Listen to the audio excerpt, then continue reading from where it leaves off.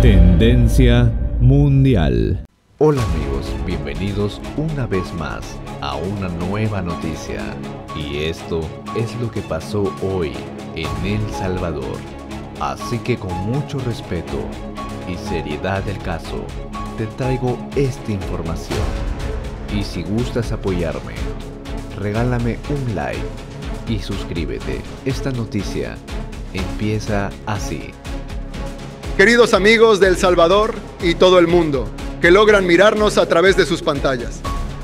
Esta semana la terminamos informándoles y dando una lección a los países que aún cierran sus ojos ante tanta injusticia a su población. Las autoridades salvadoreñas cumplen con su deber de esta manera. Con orden judicial capturamos a Wendy Lizeth Vázquez Vigil, alias La China, integrante de la MS-13. Esta mujer fue condenada por un juzgado de San Miguel a 38 años de prisión por haber terminado con la vida de una persona y por conformación de organizaciones terroristas. Tenía medidas sustitutivas, pero desde hoy pasará sus días en prisión. La detuvimos en la calle que conduce a la Hacienda La Carrera, en Jiquilisco, Usulután. Estos sujetos estafaban a las personas vendiendo billetes de lotería en distintos lugares, haciéndoles creer que habían ganado distintos premios. Esta nueva forma de estafa consistía en que las víctimas entregaban sumas de dinero a cambio del billete de lotería que se suponía era el número ganador. Se movilizaban en el mercado de Colón de Santa Ana y sus alrededores, donde fueron capturados.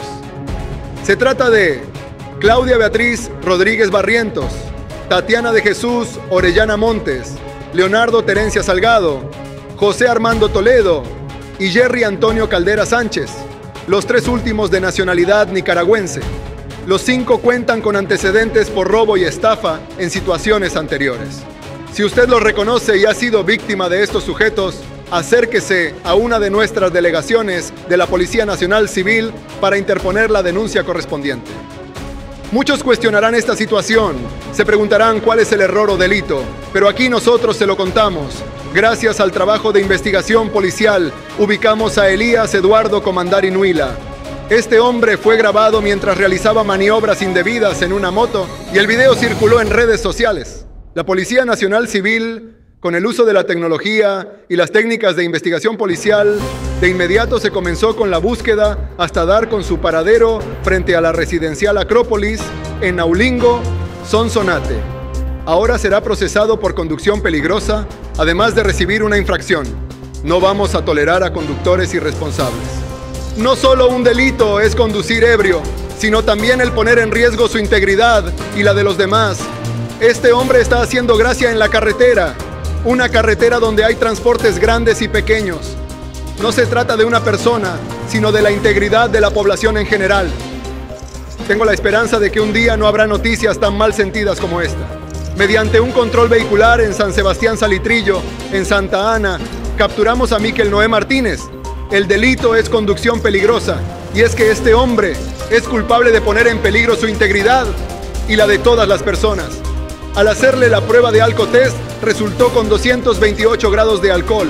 Inmediatamente la Policía Nacional Civil en su intervención lo sacó de circulación antes que provoque un accidente de tránsito. Se difundió un video y con ello una denuncia. Tres sujetos golpearon a una persona en una calle. Ahora, gracias al trabajo de la Policía Nacional Civil, podemos asegurar que los tres sujetos que golpearon a aquella persona, como se muestra en los videos difundidos, ya fueron capturados. Se trata de Glendy Lisbeth Rodas Soriano, José Daniel Quintanilla Ramírez y Gerson Javier Rivas Miranda. Los hechos ocurrieron después de una fiesta bailable en Apopa y de inmediato dimos con el paradero de los involucrados. Estos sujetos son vendedores ambulantes de la zona y comenzaron la pelea por la asignación de puestos. Sin embargo, los hechos continúan en investigación. Nosotros no vamos a tolerar desórdenes de ningún tipo. El ministro Gustavo Villatoro, a través de sus redes sociales, comunica una nueva captura por parte de la Policía Nacional Civil y la Fuerza Armada. Otro terrorista que fracasa en su cobarde intento de escapar del brazo de la ley. Gracias al trabajo coordinado con las autoridades hondureñas, se logró ubicar y capturar a Juan Miguel Orellana Alas, alias Juan Torta, miembro de la clica Arcatao Locos Salvatruchos, de la estructura MS-13. Este sujeto fue detenido en el departamento de Lempira, Honduras, y ha sido entregado a Interpol El Salvador para ser puesto a la orden de la justicia. La guerra contra las pandillas sigue hasta capturar al último miembro de estas organizaciones criminales. No importa dónde se escondan, tenemos los recursos para encontrarlos y hacer que paguen por todo el daño que han causado a nuestra sociedad. Ya el ministro Villatoro lo dijo, no vamos a tolerarles nada a estos delincuentes. Continuamos combatiendo el crimen. Es por eso que gustosamente comparto esta publicación de la Fiscalía General de la República. El día de hoy se giró cuatro órdenes de captura contra delincuentes comunes y miembros de pandillas que operaban en la zona occidental del país. Entre los detenidos se encuentra Francisco Antonio Guardado Linares, pandillero de la Mara Mirada Loca, acusado de extorsionar a una víctima en el año 2021 en Santa Ana. Este delincuente vivía exigiéndole 50 dólares mensuales a un pequeño comerciante a cambio de no atentar contra su vida. En esta operación también se logró la captura de Eric Alexander Estrada Ceseña, quien será procesado por apropiación indebida de vehículo. La víctima le entregó un vehículo a este sujeto para que lo vendiera y por el que debía entregarle comisión.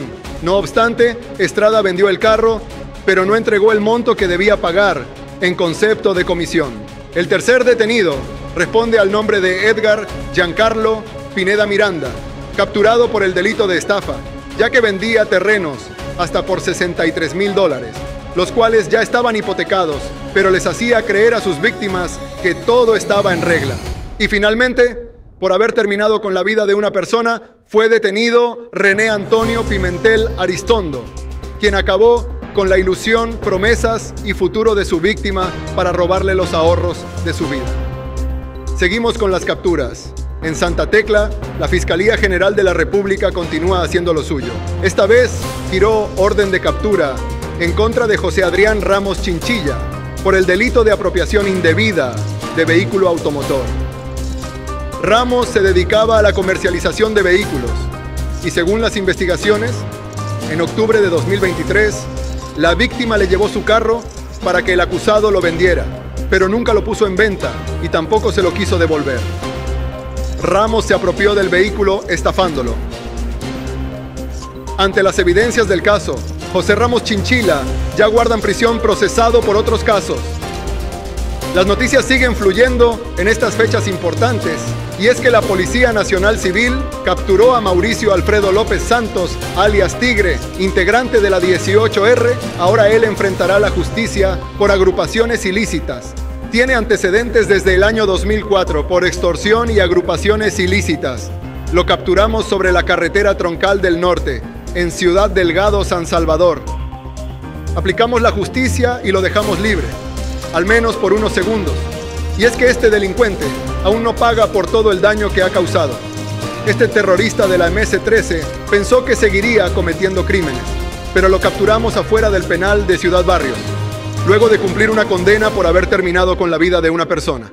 Una celda le espera nuevamente a Julio Gualberto Escobar Pachaca, alias Charro, homeboy de la pandilla en Izalco, Son Sonate, quien será procesado por agrupaciones ilícitas. No permitiremos que este delincuente continúe causando luto entre los salvadoreños.